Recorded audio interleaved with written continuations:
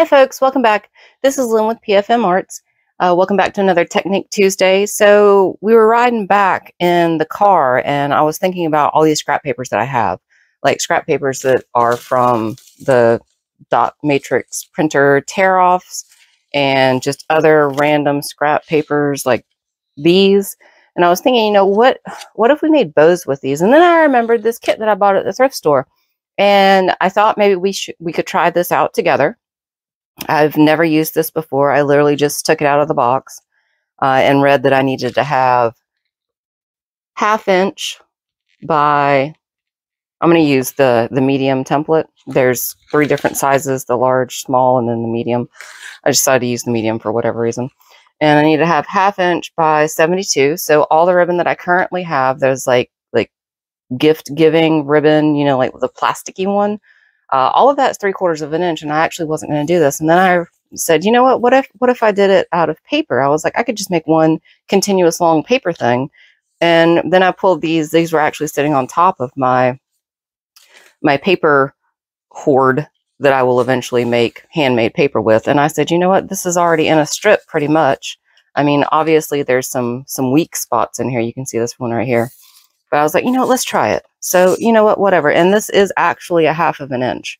So, all right, whatever. So let's try this. Okay. So insert brad short side down into the center of the template. This is the brad that they gave me. Oh, I see. I was like, why does it just look like a tiny little sword? Okay, so the thing opens up. Okay. Short side down. Bam. Did it. All right, let's use Let's use this red color. It should be long enough. It's at 72 inches. That actually might not be long enough. Let me grab the blue. Yeah, I, I do have an entire trash bag full of stuff like this that I'm going to eventually, you know, grind down, I guess, pulp down, and and make like handmade paper. So it says that I'm supposed to pull it through this little loop here and that I'm supposed to leave a three inch tail and then push this down there. I mean, that's probably more than three inches. I should probably get a ruler just to make sure. like I said, I have no idea what I'm doing. As per the norm, I have no idea what I'm doing. But I thought after this, we would go into another, all right, so that's like four inches. Three inches is like there. Um, go into another segment next week of what how you could still make bows out of these paper scraps if you don't have this weird bow maker thing. And I just have to figure out how to do that. So I'll be over the next week, I'll be trying to figure out how to do that. So hopefully when I show you guys, we'll we'll we'll have some better idea.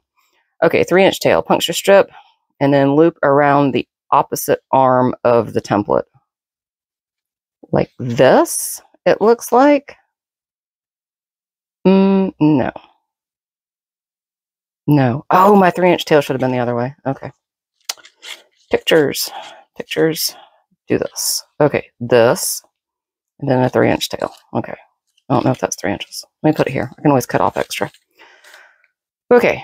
And then I'm going to go around here. Wouldn't this be awesome if this worked? And then we can actually like reuse some of these things. I don't want to pull too hard while I'm doing this because, oh, I'm just kind of following what's going on here. It's actually pretty easy. So I started at five. I did one. I'm going over to two. Um, yep, that lined up. And then now I'm on to three. And I'm doing this loop around here. This is actually lining up perfectly. That's crazy. When would have that ever happened?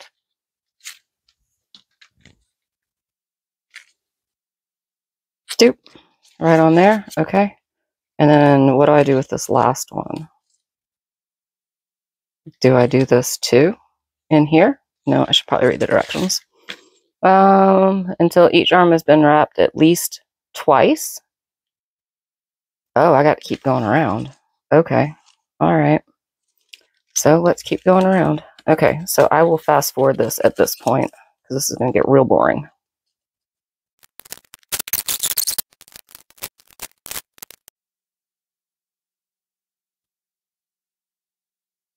Okay. All right. So I've gone around three times for each of these so far. And now it says to trim excess close to where the brad is. So luckily for me, here's a natural joint trimmed. And then it says it came, it also came with these, uh, I guess it's like sticker, double-sided sticker backer things. So it says to put one of these on here, but I'm assuming remove backer on one side of sticker. Okay. So remove backer on one side of sticker. I don't know that it matters which one's which. And honestly, I don't know how old this thing is. And, and obviously I don't even know if the stuff is going to stick. But you and I both know that there are these wonderful things called double-sided tape that you can use with this instead. Or just regular old scotch tape. Just clear tape. Okay, so I did that. Now what? Um, remove backer, secure bow, through hole. Yep, did that. Open and fold down to secure in place. Okay. I'm actually kind of concerned about this now that I think about it. Like, how am I going to get this paper off? Oh, I should probably have put that in a different orientation because I've got this kind of in the way. Uh, the mark where you, you peel the paper off, but it's there now. Okay. So turn template over and carefully remove the loops from each arm. Gently bend template arms down while removing so material doesn't rip. And then pull tail from slit. Okay, so I'm here on this picture. Okay. Oh, these do these do squish in. Actually, they do. All right. This is actually way easier than what I expected. Oh, let's let's skip that one. That's probably what they meant by pull tail from slit. Okay. Well, I don't know how to get that out of there. Maybe I just pull it up and it magically happens.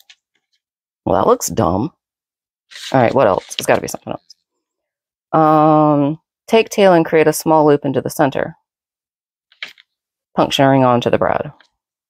Okay, so this is supposed to be like my center loop thing. All right, well, my center loop thing is just going to be double wrapped because that's that's how I did this. All right, I'll put, so I'm getting this on this little center. Okay, so there we go. I don't, I'm not sure. I guess it will tell me. Okay, Yeah, but how does this stay in here? This isn't going to stay. Maybe I have to bend it. Uh, yeah, I have to bend it down because otherwise that's just going to be a metal thing hanging out there. Like nobody wants that. Okay, so I'm just going to try to bend it with my finger, see if that works. Yeah, it actually did. All right, there we go. Okay, that looks dumb. Um, gently pull loop layers apart to separate and then rotate. Okay. Gently pull apart, separate, and rotate. All right, so here we are, just somewhat gently. Oh no, my thing came undone. All right. I've got double-sided tape that'll fix that. That's fine.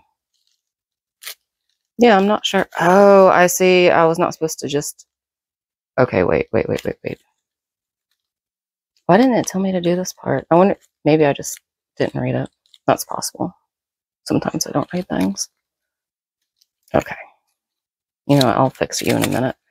Okay, so I'm just pulling apart these things.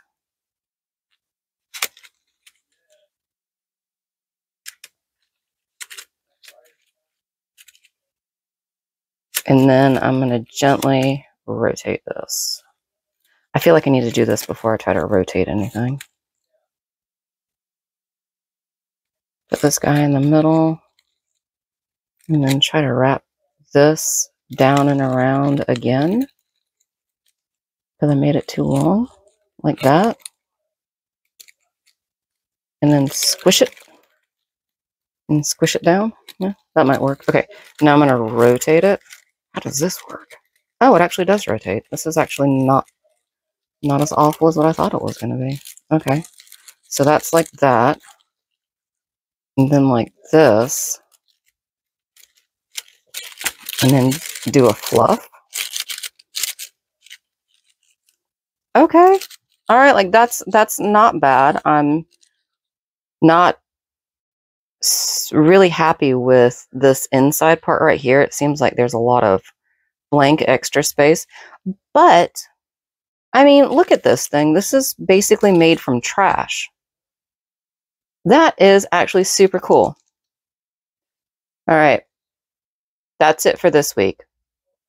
Next week, we're going to make these bows. I feel certain that we can do it without having this bow making kit. And just, just as a reminder, this is what the kit actually looked like.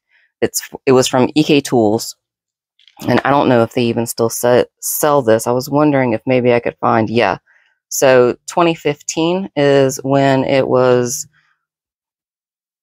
copyrighted, I suppose. So yeah, I don't know if this thing is actually still sold, but it's actually pretty cool. Like I don't mind it. Um, my bows definitely do not look as pretty as the bows that are on this picture. And maybe, maybe I could have used that three quarter inch instead of the half inch, but this definitely says half inch. I don't know.